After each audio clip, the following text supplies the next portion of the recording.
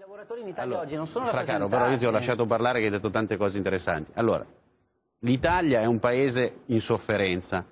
C'è chi fa bene il suo lavoro, i partiti lo fanno benino o malino, eh, male forse. Eh, la politica non funziona, le classi dirigenti hanno fallito, i sindacati...